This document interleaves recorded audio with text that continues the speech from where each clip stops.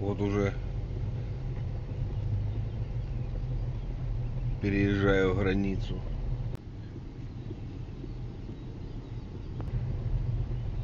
Узнали, где это, друзья?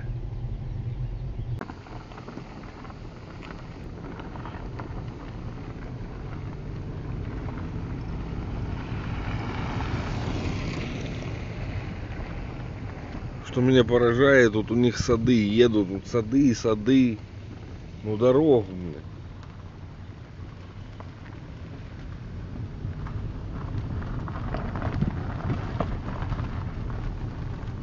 Дорог нема ни хрена.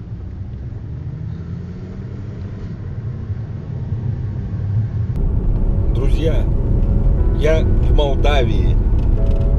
Еду в Кишинев за янтарными бусами. Кстати, границу пересек очень просто вообще. Я через Каменец-Подольский поехал с Киева, чтобы пересекать не на пароме, а э, через мост. Переехал через реку и все. Для этого что для этого надо? Для того, чтобы попасть в Молдавию. Просто меня, допустим, биометрический паспорт, документы на машину, страховка, которую покупаете прямо перед границей. И все. Не надо не заполнять никакие бумажки, ничего. Вот в Россию едешь или было, там куча бумажек на ввоз транспортного средства, надо заполнять бумагу. Здесь ничего, здесь просто показываешь документы, проверяют, счастливо пути. Даже особо сильно машину не шмонали. Я вообще не почувствовал, что я переезжал границу.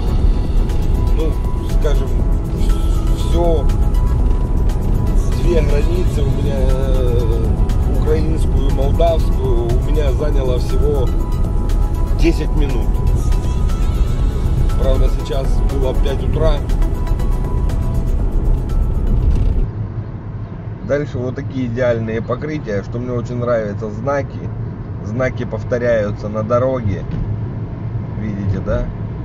Если здесь было ограничение перед пешеходом 30 километров в час, то сейчас будет следующий знак, разрешающий движение с большей скоростью. Люди стоят вот так на обочинах, подбирают их и везут куда им надо. То есть это как бы как так и надо. У нас, если это немного не развито, здесь вон на дороге был знак ограничивающий, а есть знак, который вот можно давать 70. Надо отдать должное. Плохая дорога была километров 6. Так что я снимал такая только как на въезде в. А дальше дороги отличные, идеальные, я бы сказал бы. Респект. Сейчас обязательно, как больше можно будет увеличить скорость, будет стоять знак. Вот опять ограничивающий знак. 30 километров на повороте.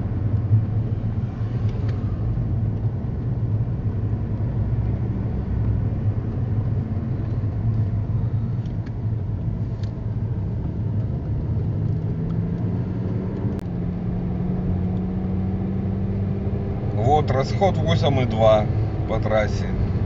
Непонятно, почему люди боятся больших объемов. Вот у меня объем 3,2, а расход по трассе 8 литров. По городу м, 12 литров.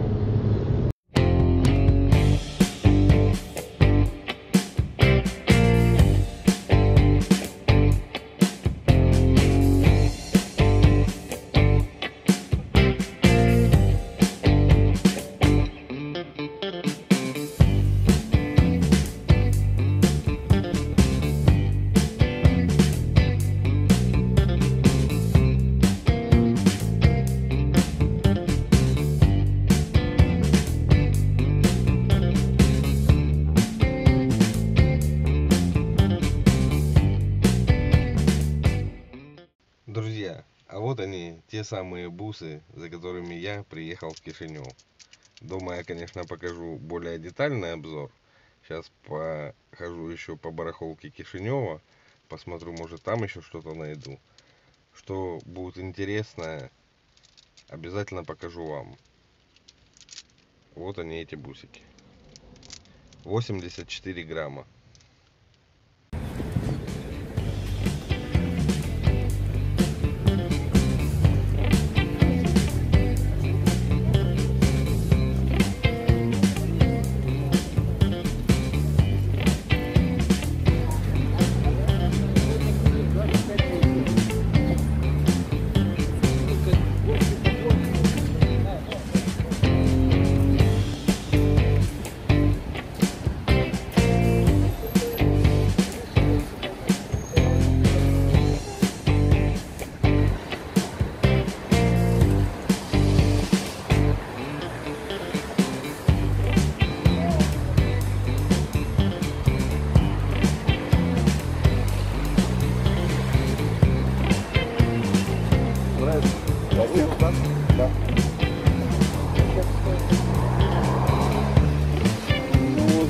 Тысячи минимально. Сто евро. А какой там вес? А? Какой там вес? Вес какой? Ой, не, нельзя взвесить ее отдельно, потому что она, видишь, имеет э, металлическую накладку, это же брошка, и здесь металл идет, то есть э, янтарь янтарем, а Еще что-то есть? бусы, здесь э, камни. Ради бога. О, что-то хорошее. Хорошее, дорогое есть. Вот интересует хорошее и дорогое. Это отпадает. Чувствуете просто. Это антиквариат, главное. Как интересно надо. Запрет кинул Серега. Шестой партии. А бус подороже нет янтарных? Что? Подороже янтарных бус нету? А это вы считаете дешевое? Вот она, длинная, длинная нить. Ну, значит, спрашивайте, там безумно дорогие вот. А где И у этого человека вот сидит с телефоном. Вас можно поинтересоваться бусами дорогими янтарными. Ладно, удачи вам. Удачи. А вы один день в городе? Я да. Прямо как на зло я сегодня не взял. Я просто приехал за бусами. А что забрал. вас интересует? Меня интересует дорогой янтарь, желтый. Есть желтый. Фотографии нет, ничего нет. Ну вас круглый интересует? Да? А, не, ну круглый. Круглый продается. Продаем по большим ценам. Только есть Я одна. ж не прошу по маленьким ценам, вы не поняли. Нет, круглый пока проданы. Еще не делали ничего. И старого тоже нет. Одни четкие только есть. Не, круглый есть. Желтый, не круглый. Бакелита вишневого нет? Бакелитом я не работаю, я работаю только натурой. Вот есть там. Ну нет, с собой сегодня ничего нет. Выгружал машину, техосмотр и не взял ничего. Может вам телефончик оставить? Нет, Если нет, будет тут есть одна москвичка, и она постоянно звонит периодически. Э, Нет. Снежана, не. И дело в том, что дороже беру. Черт, Я дороже беру, дороже меня никто не берет. к сожалению, вот она была пару недель назад. Одну длинную нитку мы ей продали из старого, Не, ну старой. будет старой. еще что-то, мало ли. Предложит,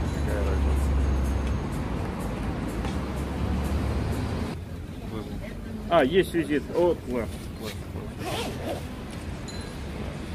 Хорошо. Янтарь, коралл, бакелит. Там вайбер. Если что, можно на вайбер фотографию отправить, я скажу сколько. Возьмите мою тоже, мало ли. Хорошо, если что-то будет, но только круглый. Или Я овал, понял, я знаю, да. или да. круглый. Хорошо. Желтый, непрозрачный. Очень хорошую нитку мы ей отдали. и чтобы она торговалась сильно, блин. Мы хотели, там было 80 граммов. Мы хотели 800 евро.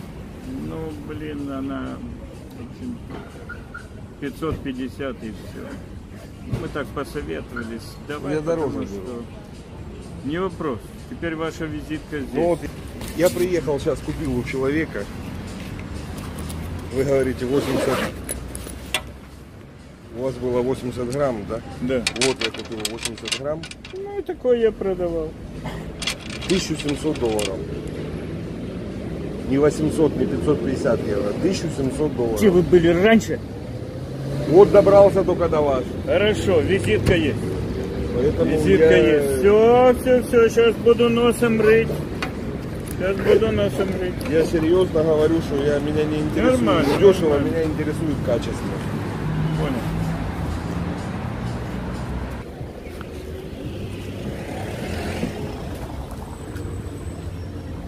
Ну что, договорились? Да? Там хороший янтарь.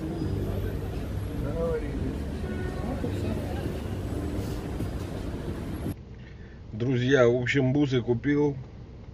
На барахолке с людьми пообщался. Будут предлагать новые. Мои цены их заинтересовали. Кстати, если вы нашли бусы янтарные, обязательно присылайте мне фотографию на Viber. Мой Viber и почта всегда под видео внизу. Ну все. Выдвигаюсь домой. У Киев.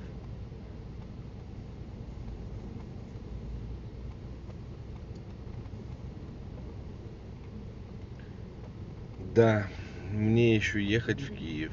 Вот бы раз и телепортироваться. Вот это было бы круто. Вот так, друзья, бывает. Сидишь, сидишь, сидишь, сидишь. Ждешь звонка, ждешь. Потом начинаются звонки один за другим, один за другим. Ты только ездишь, покупаешь. Вот сейчас с Кишинева возвращаюсь в Киев. Завтра поеду камень большой красивый смотреть. Если куплю, обязательно вам покажу. Да если не куплю, покажу вам. Я думаю, что куплю, конечно.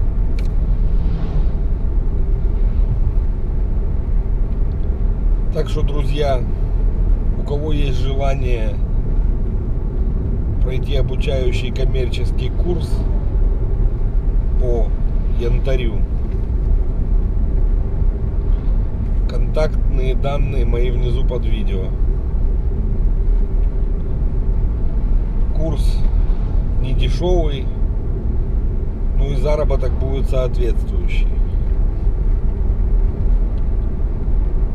Можно сделать как индивидуальные занятия, так и групповые до 6 человек. Курс будет проходить один день. В этом курсе вы пощупаете различные бусы, посмотрите, как они выглядят. Я вам покажу и расскажу, на что нужно обращать внимание. Какой янтарь сколько стоит. Как покупать и где продавать.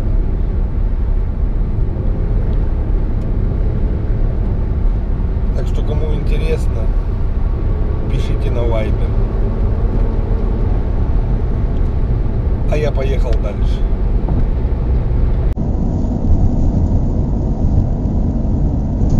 Так, вот я уже и подъезжаю к таможне, к мосту. Сейчас пройдем паспортный контроль.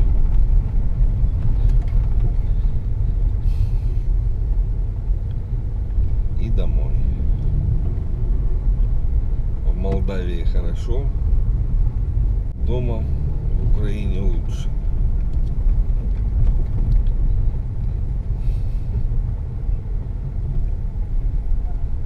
Поверните направо. Затем Ваше место назначения. Добрый день. Добрый. Один, да? Да.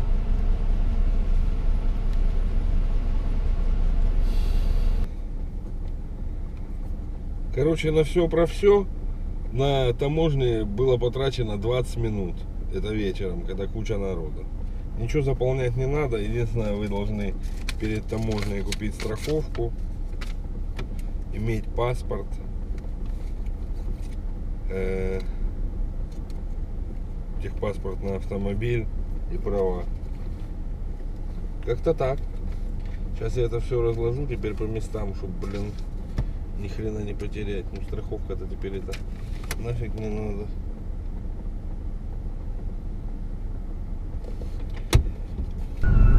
На таможне вообще ничего не заполнять не надо, ничего не это самое.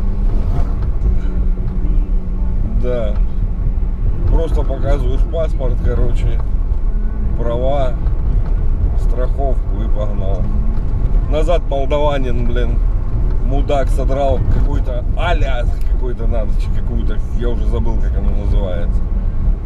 Ну, тогда штраф. Вложи, говорит, сюда в страховку 100 гривен и принеси. Блять, как назло нету 100 гривен. Хорошо, что, хорошо, что хоть самая мелкая 200. Ну что, 200 дал. Так на тупом, а утром никто ничего не сказал. Утром я таможеннику молдаванскому постучал, а он спит, короче. Он такой глянул, глянул, проезжай. Он, короче, под это. Про, проезжай. говорит Я не знаю, что он где подумал, короче. Мне еще ехать 375 километров. Гарний зір невід'ємна частина повноцінного життя. Водівський центр «Форум» – це медичний центр європейського рівня, де ви зможете отримати широкий спектр послуг та лікування на найвищому рівні. А найменших пацієнтів ми чекаємо у центрі. Вот эти янтарные бусы я привез из Кишинева, с Молдавии. Позвонил подписчик.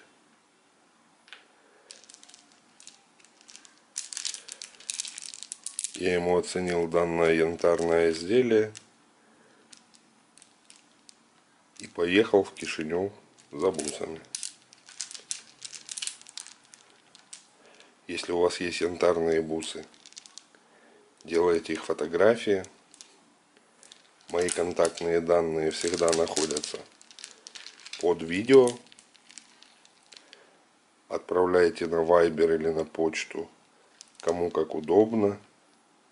После чего я приеду в ваш город за вашими янтарными изделиями.